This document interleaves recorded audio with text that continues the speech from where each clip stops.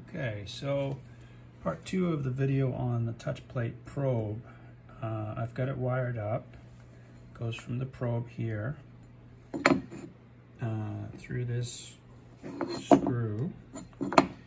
And if you follow it down, I've got it going to the breakout board for the HAL 2K EST board and it goes into this one here which is the probe connector and I've got it into the middle and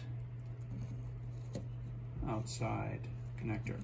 The unused one is the 12 volt so I don't need 12 volt for this or the tool setter when I connect that. It's just a loop, uh, doesn't need power.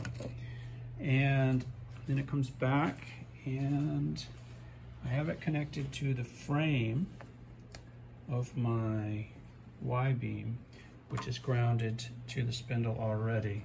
And what you'll notice here is, is when I touch this on ioSender, notice the P lights up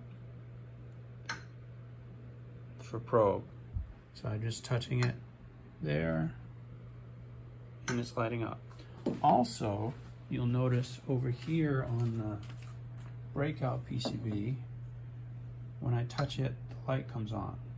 So I'm just touching it there and the light's coming on. So that's all there is to the physical setup and connection of the touch plate probe.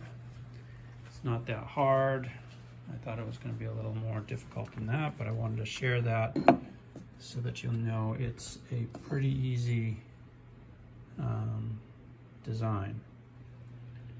Okay, thanks.